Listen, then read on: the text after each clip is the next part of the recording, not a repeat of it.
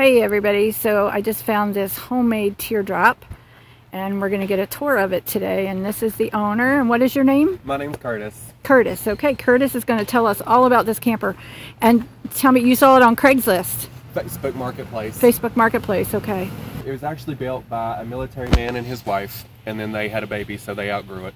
Okay. Um, so uh, I bought it from them off of Facebook Marketplace and it actually comes with solar. Uh, down here in this box, I have my uh, Deep Cycle Marine battery. And then, of course, I got a charger because I have electricity this weekend. And this okay. is actually my charge controller right here. It's just got an on and off switch, but it's not hooked up to the panels yet or nothing. I have a basic fuse breaker because I've got one, two, three, four, six lights in there that are operating on solar. Mm -hmm. And then it also has 110 as I'm hooked up to a regular outlet over there, but I can do an extender the dog bone. That's what they call that. So you have solar panels on the roof?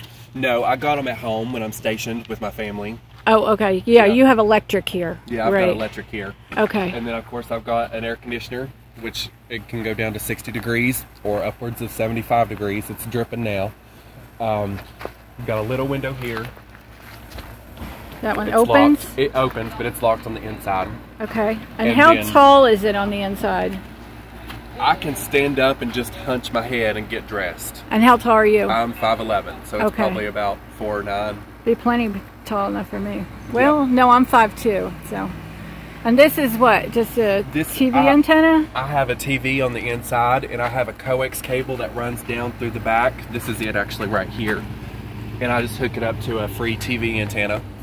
Okay, so let's see the back. And then there's two leveling jacks on the front. And then I do have two leveling jacks here on the back as well. Those can either go up with a metal or um, an impact driver. Yeah, I need to get one of those. People tell me. Too. Okay. And then this so he has two door. doors, yep. back door and a front door. They just simply close like that. It's got these dual hinges from Harbor Freight, and then they just simply open and close. They can go all the way whenever I don't have my steps. okay. Um, and then I got some storage down here on this end. And one of the solar lights is up there at the top of that. That little ring thing, is that, that what that is? Oh no, on the wall, the black thing on the wall.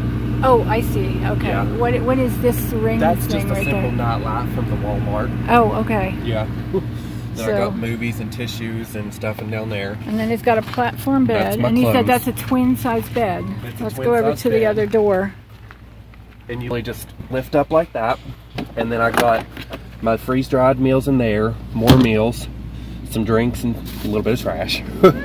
And this is just an old tent camping rod uh -huh. that I just sit right there and I can prop it up. Good idea. Okay. Um, so he's camping here by himself. He gets dropped off. Yep. And then he just gets away from the world for a little bit.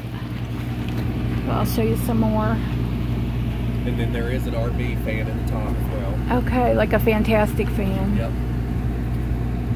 It's got plenty of room in and here for sleeping. What is it? Oh, okay. Is that 12 volt too? 12 volt, yep. Okay. Really bright.